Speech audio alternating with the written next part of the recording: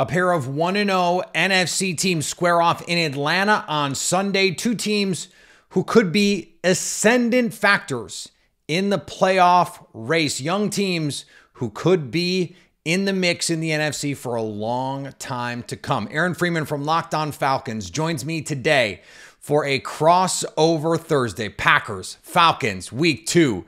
Let's go. You are Locked On Packers daily Green Bay Packers podcast. Part of the Locked On Podcast Network. Your team every day.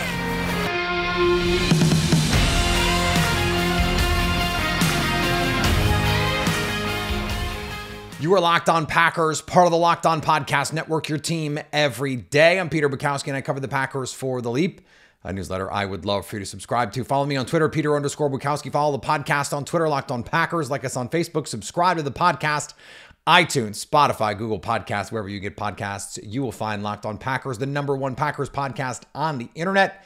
And the show for fans who know what happened, they want to know why and how. Thanks to everyone who makes Locked on Packers their first listen every day.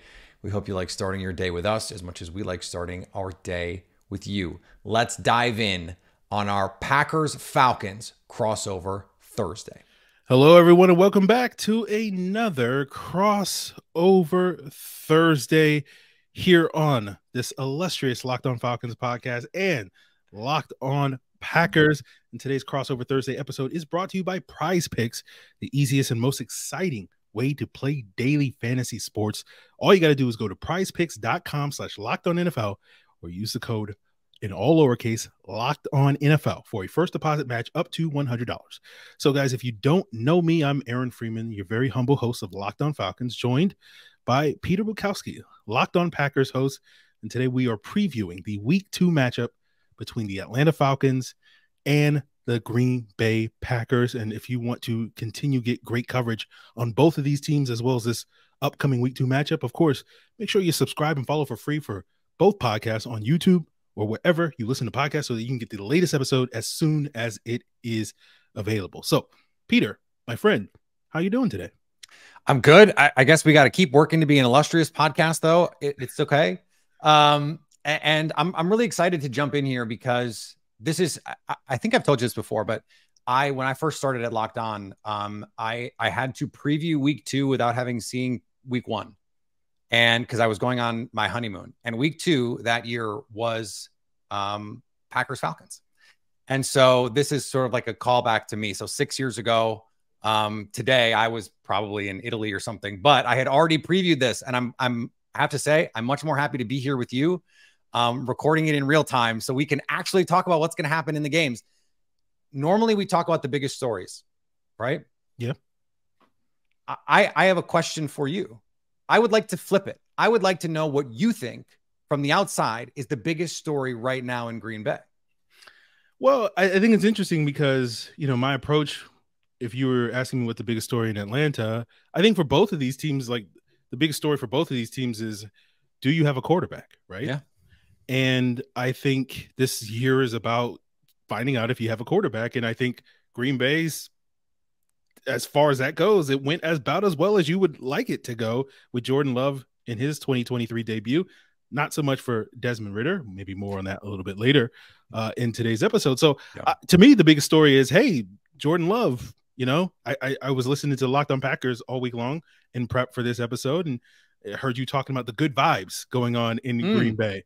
Um, you know, I think the, the good vibe, the vibes are pretty good here in Atlanta as well, coming off their first win since you know they last played the Packers. They got that was the last time they won their season opener playing the Packers in the first game in Mercedes-Benz Stadium back in 2017. Oh yeah. Week 2, they won that game. They kind of beat the brakes off of the Packers in that game. Sure did. I can say so myself. And then what's also interesting about that is the next week they went on the road to face the Lions. They won that game as well. They go on the road next week to face the Lions. So I'm just wondering, kind of, at least as far as the biggest story here in Atlanta is, you know, can they keep their good vibes going? But I think it's the same sort of conversation in Green Bay. It's interesting. Uh, the Desmond Ridder of it all did not occur to me because I, I guess after watching the tape, I just sort of assumed they're just like Desmond Ridder's fine. He can he can push the buttons. They seem a little afraid to let him actually play quarterback. Um, And so we'll see how that moves forward. Uh, to me, the big story was the new look defense was six new starters, right? Um, the defense was what won them this game. I felt like this was a 10-7 game late in the third quarter against Carolina in week one. And and you get the fumble, Miles Sanders in, in plus territory to set up the field goal. And then you get the interception. Jessie Bates comes through with the play of the game to really uh, set up the, the touchdown, the go ahead touchdown with the lead that they would not relinquish. I'm, I'm fascinated to see how they react to this Packers team because I felt like the Panthers, and, and I would love for your reaction to this take. It, it, I, I felt like Carolina made it very easy on Atlanta in a lot of ways, did not throw anything that weird at them Atlanta seemed very content to just say, "Hey, Bryce Young, we dare you to beat us. We don't think you can. We're gonna, we're just gonna let you. We're gonna sit back and we're gonna let you do what you have to do." And they they stuck to those receivers. It's a very bad receiver room in Carolina. My goodness. And Bryce Young threw them the ball twice, and they turned the ball over once. And I did not feel like Frank Reich did anything to help Bryce Young. Matt LaFleur did the exact opposite. He did everything, especially in the second half, to help Jordan Love. And so I feel like I don't have a good handle on where this defense is because you played a rookie quarterback in week one. You play, you know, uh, uh, with all these new pieces. I think that it's impressive that that was cohesive. But I want to know: is this for real? Because I know the offense can be good. I know Arthur Smith is a is a really good offensive coach. Tyler Allgeier and Bijan Robinson. I guess it's Bijan Robinson.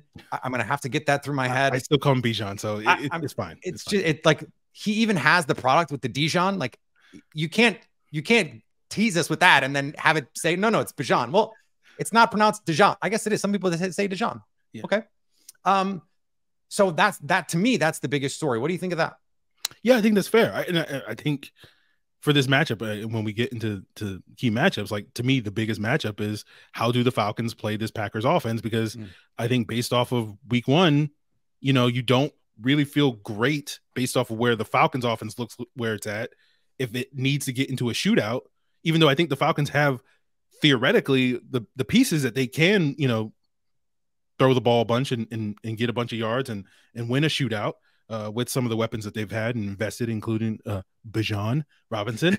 Uh, but like, I don't have they the found Drake London since Sunday. Did they ever find him? He's he's still somewhere in, in the state of Georgia. We're, we're still trying to figure that out. But Fulton County, maybe somewhere. Yeah. get him to Cobb County. Right? You know, that'll be close enough. Um, maybe we'll get him to the stadium by Sunday if if we can get him there. But um, yeah, like so, I, I think this game is the defense is going to kind of have to win them again because I don't think the Falcons want to get in the shootout. I don't think that's the way that they want to play football. Um, and so I think you know that defense and how they kind of match up is is going to be one of the interesting you know storylines for this game as well. What is your impression of Desmond Ridder through what is it, five starts, six starts? I liked what I saw last year. I mean, it wasn't like incredible or anything, but it was promising for the first four starts. If you're just basing it off of, hey, this is a guy's first four starts, understanding the offense, executing the offense, and you know, there's all the components of a good quarterback, right? Maybe not all the components of a great quarterback, but a good quarterback that can win you games in this league. And it's just to me, this season is like all those components just have to come together so that you can get that player consistently week in and week out. And it didn't really come together in week one. So it's like, okay, I guess we're just still waiting for that to happen. And hopefully it's this week, but we'll see. Uh, this is fascinating because I think both these teams are trying to make sense of how much of what their quarterback gives them is what their coach can give them, put on his plate, and what the, the pieces around him. I mean, Bijan Robinson nailed it. Uh, is dynamic, and they used him all over the formation. And I was I was shocked how often he was like a wingback and or like coming in motion and and playing de facto receiver at times. Mm-hmm. Um, I thought they did some really interesting things with him that way. We know Kyle Pitts is a matchup nightmare if they would actually throw him the damn ball. Um, I don't know where Drake London is, and maybe it's just that Carolina was well schooled enough. They tried a lot of those play action shot plays, and Carolina was pretty well schooled on all of them. The one that Ridder threw at the end of the game, not even open. He just said, F it, Kyle Pitts down there somewhere. And Kyle Pitts made a great play in between two defenders. So I, I just, I, the, the Packers and Falcons are in a very similar situation with their quarterback trying to figure out, okay, how much of this is just like, for example, Aaron Jones on fourth and three cooking TJ Edwards. Like Aaron Jones, it, if Sean Clifford is back there, you you want Sean Clifford to make that throw, right? Like on on the leak play to Sean or Luke Musgrave, He's wide ass open to borrow a JT O'Sullivanism. Every quarterback in the league has to make that throw. The throwback screen to Aaron Jones. Every quarterback in the league has to make that throw. It's what is the rest of the game looking like for them? And this is another chance for both of these guys to prove it. And I think the matchups in this game are going to help dictate how these guys look. Yeah.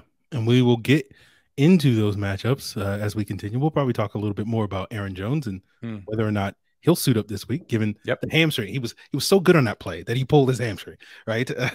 he did the Bo Jackson right into the tunnel. yes. So we will get into all of those matchups as we continue uh, today's Locked On Falcons. and also Locked On Packers. I should remember that, right? It's crossover Thursday, but you know, it's crossover Thursday, and I want to tell you about our friends over at Jase Medical, right? You know, in the world, Peter, things can throw us curveballs, right? Yeah. Uh, supply chain shortages, natural disasters, pandemics. You know, you might find yourself traveling and you might be in an unfamiliar place and you may not have access to the life saving medications that you need. And you need to be prepared more now than ever. And personally, I deal with sinus infections, ear infections. So, you know, I like to have antibiotics on hand if those things pop up from time to time. And Jase Medical has my back and they can have yours too. It's simple. All you got to do is go online, fill out a form. You'll get prescription life saving medications sent right to your door. They have the Jase case where you can keep all the meds that they send you. It gives you the peace of mind that you need with the access to the medication in an emergency. And our listeners can save more than $360 by getting these life-saving medications and Incredible. antibiotics with Jase Medical plus an additional $20 off by using the code locked on at checkout at jasemedical.com. That's J A S E medical.com. Promo code locked on. So, continuing today's crossover Thursday with Locked On Packers host Peter Bukowski and myself, Aaron Freeman of Locked On Falcons. We've kind of teased some of these key matchups, Peter, uh, but you know, I'll give you the floor as the away team. Um, what some of these key matchups that you're looking at?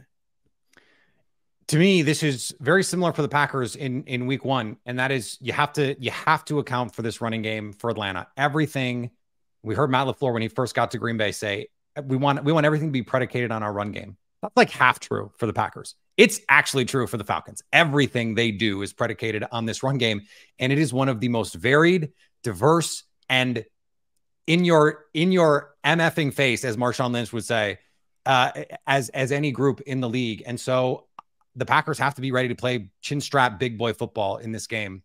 Uh, and we saw it in week one. They they played the the Bears defense or this Bears offense rushing attack outside of Justin Fields scrambles, um, they held the, the Bears' actual running backs to less than three yards a carry. So eh, they were up to the challenge in week one. I think it is a greater challenge in week two. Uh, uh, Paul Noonan, who writes for Acme Packing Company, joked that the, the Falcons are the indoor Bears. And that is true in, in a lot of just the way that they approach the game, the way that they want to want to live. And so stopping this run game, whether it's Tyler Allgeier who's just like uh, one of the most underrated players in the league. He, he, was so fun last year. Was was really good again. Two two Tyler Allgeier plays changed the entire complexion of the game against Carolina. I felt like, and the Bijan play, come on, that play's dead on the on the little. I don't know if it's a true RPO, but on that little the little slip screen, like Frankie Luvu has him dead to rights in the backfield. I think it was, and then he breaks two more tackles you have to you have to be able to tackle in this game. That has been a problem for the Packers. I don't know, time immemorial, it feels like. Uh, and so they're going to have to be able to tackle on a fast track in Atlanta. That's going to make this really, really tough. And they might have to do without Quay Walker, who's in concussion protocol. He got lit up by a Bears offensive lineman at the goal line, returning that pick six. By the way, after he absolutely truck sticked Roschon Johnson, who came in with his shoulder pads ready to lay the wood. And Quay said, mm, okay, cool, bye and and scored in a very like Myles Jack at UCLA kind of way. If you remember when he was playing both ways there, they they need Quay Walker in this game. He started to take steps at the end of last year, and to me, he is one of those players that I think if he can play, he is a matchup player for John Robinson, for Kyle Pitts underneath, um, and is someone who, if he can flow well to the ball, his speed, even when he's wrong, I think this is so key for linebackers in the modern NFL. And and the Falcons have some guys that can do this, redirect and retrace. If you're wrong, he has that ability, and you need that against a team like Atlanta. I I'm I'm fascinated to see. I have to stop saying that. That's a tick for me. It's fascinated. Okay, cool. If I'm saying it, I hope you're interested in it. Uh, I got to cut it out. Um, the the way that Atlanta plays the Packers because uh, how much of how much of Jordan Love can you really bank on? I don't know. And so I'm I'm fascinated to see from that part. I just did it again. Come on, Aaron. You gotta you got I need a buzzer. I need, I need a say, shot collar. I always say it's it's interesting. Of course it's interesting. Yeah. Yeah. yeah. I Goodness. I gotta stop. All right. Anyway, uh please help me save me. Save me. I'm drowning. No, it's it's interesting. I, I did it. I did it.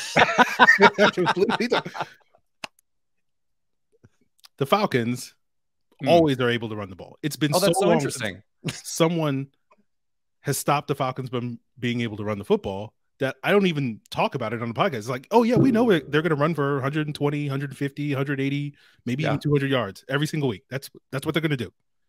It's really the other things about the team that are the question marks. And one of the big question marks for me that we talked about as we opened this thing was how the Falcons are going to play Jordan Love. Mm. I thought the thing that stood out to me watching the week one game was anytime the Bears got the Packers into third and long, they just were content to sit back and play zone. And Matt LaFleur scheming up the plays, and Jordan Love just was executing it perfectly, just carving up the Bears defense. He was yeah. money on pretty much every third down. There was like one time where I think the Bears played man defense, and they, I think they got to stop, but they just never did it again. And so I think the Falcons, with their new defensive coordinator Ryan Nielsen, this is the fascinating and interesting part of this matchup for me.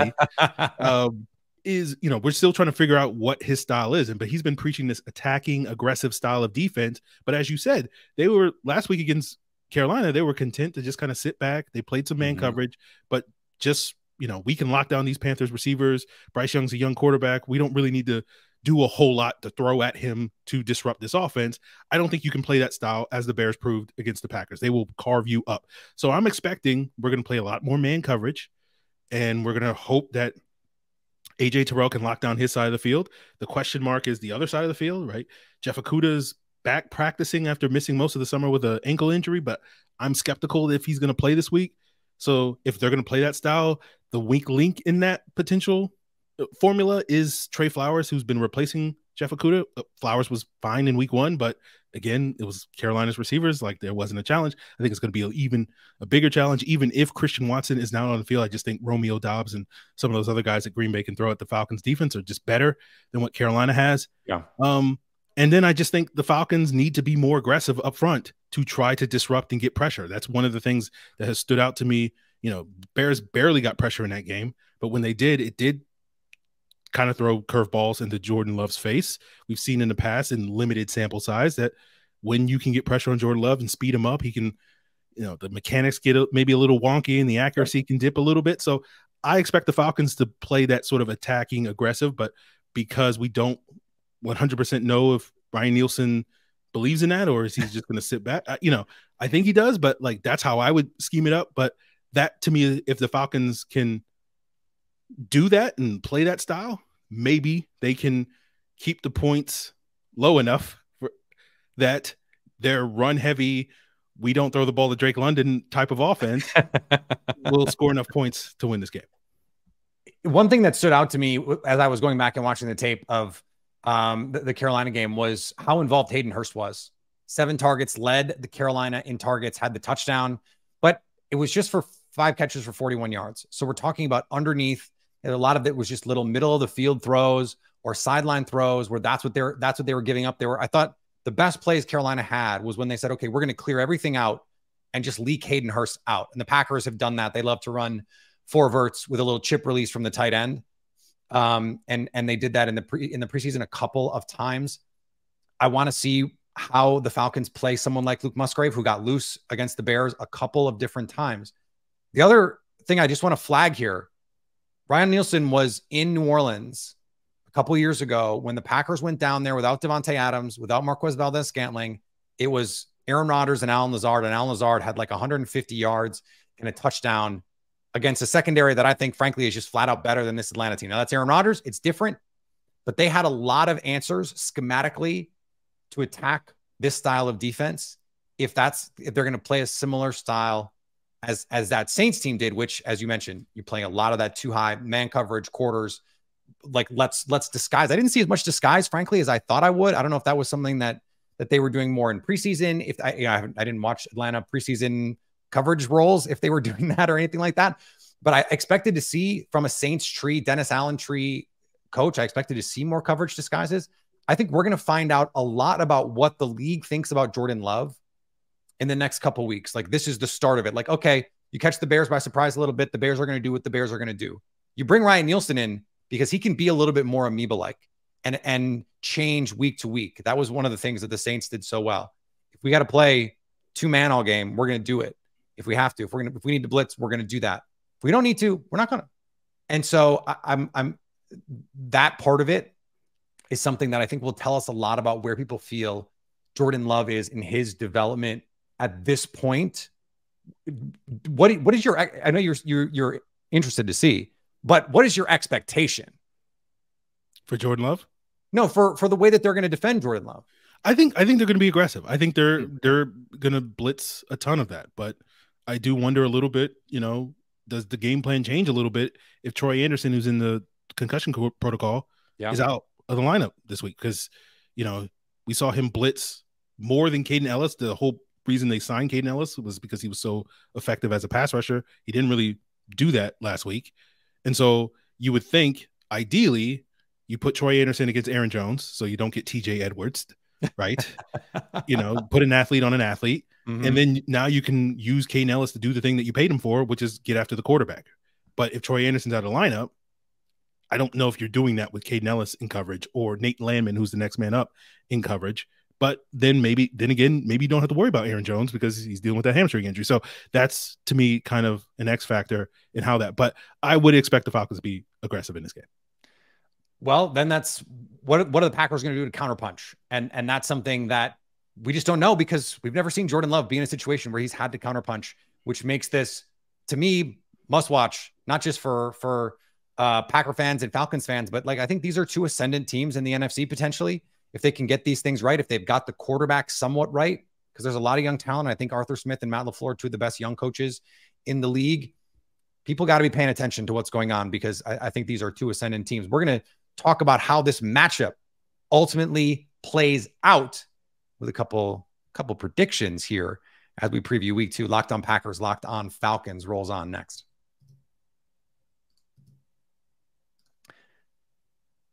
Today's episode brought to you by our friends at Prize Picks Crossover Thursday. Brought to you always by Prize Picks. Prize Picks is about as much fun as you can have during the football season, not watching your team. You test your skills. You can turn $10, $10 into $250 with a few snaps, up to 25 times your money. And all you have to do, pick a couple players. Prize Picks does the work for you. They say Saquon Barkley, 60 yards. You decide if you think Saquon is going to produce more or less. Or you take Justin Jefferson, 100 yards receiving. You decide if you think he's going to take more or less. And you put those guys together and you have yourself a lineup. It's daily fantasy sports made impossibly, impossibly easy. Prize Picks has weekly promotions that can lead to even bigger payouts like Taco Tuesday. Each Tuesday, Prize Picks discounts player projections up to 25% to provide even more value. Go to prizepicks.com slash locked on NFL and use the promo code locked on NFL, all caps, for a first deposit match up to $100. Repeat, it, this is your chance. I repeat, this is your chance. You can turn $10 into $250 if you do this right. Okay. Prizepicks.com slash locked on NFL and use the promo code locked on NFL for that deposit match up to $100.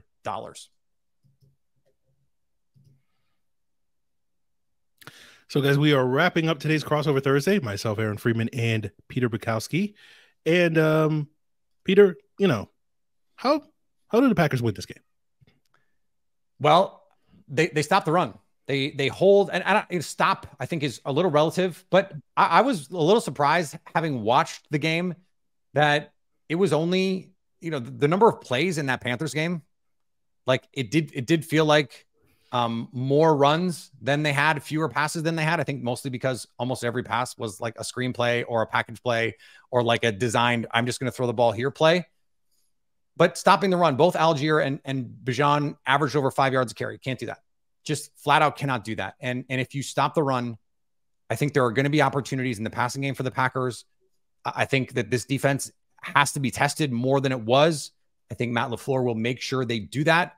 I, I go often to this this this play. I think it was back in 2019. The 2019 when the when the Packers and the Falcons played on Monday night. Um, there was a there was a fourth and short. Packers have none of their receivers, not Marquez Valdes-Scantling, not Davante Adams, not Allen Lazard, and they di- I think MVS was limited. They dialed up a fourth down call in plus territory to Malik Taylor, and he's wide open for a first down. They they can do this in terms of managing Aaron Jones, Christian Watson not being out there. They have to be able to stop Carolina. If they can do that, I think they can score enough points to win this game because I think Atlanta against this Packers defense, which I, believe. Do you believe now? I believe in this Packers defense right now. I think that is going to be the key for the Packers. And I think I think this is like a, a 24 24 20 kind of game. I think it could be 24 17. I like the Packers um, because I just I I don't see enough from this Falcons passing game right now. Well, I can echo those sentiments. I, I don't see enough from the Falcons passing game. So, I, Locked On Falcons listeners are probably going to get tired of me saying this on pretty much probably every crossover. But the Falcons have to win along the line of scrimmage. They have to kind of control the line of scrimmage because they're just not a team at this point. Maybe later this season, we'll be singing a different tune, but they're not a point at this team where they want to play this air it out type of football game. That was the old Falcons under Matt Ryan with Julio Jones and Calvin Ridley and those guys. But this team is we want to punch you in the mouth. We want to be physical. We want to dominate the, the game on the ground on both sides of the ball. So I think that's the key for the Falcons. And if they do that on both sides of the ball, maybe they can keep this Packers passing attack from taking flight, as we said, and they can win sort of a low scoring game, right? Talk about, you know, important players in this game. To me, it's the Falcons offensive line right? Yeah. We saw the Falcons offensive line kind of get their butts kicked last week against Carolina. And Carolina really has two good players in their front. It's Brian Burns, Derrick Brown. And you saw how good they are by basically those two guys single-handedly mm-hmm. kicking their butt. But Green Bay's stacked, right? You know, I think Rashan Gary's arguably better than Brian Burns, right? Kenny Clark is very good. Probably we are, we are on the same side of that argument, Aaron, by the way. I, I think so too. Go ahead. You know, Falcon fans get upset because Grady Jarrett doesn't get enough national attention in some of their. Kenny Clark's basically the same player yeah. as Grady Jarrett. Preston Smith is solid. Devonte Wyatt came off looking, you know, impressing the Georgia fans, being like, "I told you so." Right? Mm-hmm. I, I like some of the rookies. I wasn't as high as Lukas Van Ness as other people were, but he looked pretty good in week one. Colby Wooden looked good. Karl Brooks looked really good. Preston Smith, you got the wily veteran there. So they're stacked. They they got bodies. And so it's not just two guys that are going to wreak havoc on this game, it could be five or six guys that could wreak havoc. So the can Falcons, I give you an absolutely bonkers snap stat about the Packers front in week one? Go ahead. Eight players had two or more pressures. Yeah. They had 12 players with at least one. You only get to field 11, Aaron. They had 12 guys get a pressure against the Bears, eight with with multiple, and they had, I think they had five guys with three or more. Lukas Van Ness had five. Devonte Wyatt had six. And the Packers, Matt LaFleur said this yesterday at his press conference. Rashan Gary played 12 total snaps, okay? 10 pass rush snaps. The Packers charted seven pressures in 10 pass rush snaps. That is just like ungodly production. And and he looked he looked like that. He he looked every bit. I was like, was his pass rush win rate hundred percent? It felt like that watching. Uh and and so Kaleb McGary, Jake Matthews, like get ready because they can just keep bringing these guys in. And that's the biggest difference in this defense this year, Aaron, from last year and the years in the years prior. Joe Barry said this defense is going to look different. And a lot of Packer fans went, Yeah, okay. Hmm. And Kenny Clark said, watch the tape after week one. I'm not going to give away any game plans, but watch the tape. I watched the tape. It's pretty good. Yeah, it's it's pretty good. And that's why, you know, I went into the season thinking this was going to be a loss because I just thought the Packers were just a little bit better of a football team. And coming out of week one, I don't feel any compulsion to change that opinion at this mm. point in time. So I, I kind of need to see it first from the Falcons, especially coming off such a poor offensive line performance from them. Like this is not a, a great time to have that, right?